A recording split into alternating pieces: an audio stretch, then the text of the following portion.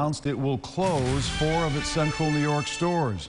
Last April, you may remember, a federal bankruptcy judge gave Tops the green light to shut down its unprofitable stores to help it climb out of financial trouble, and now they've made their decisions. This morning, Tops has just announced 10 stores will close, and those include the Tops at Westvale Plaza, Valley Plaza in the city, that will hurt that neighborhood, West Street in Fulton, and on Hamilton Street in the city of Geneva. No word just yet on a timetable for how soon all of those Tops supermarkets will close. We also have a developing story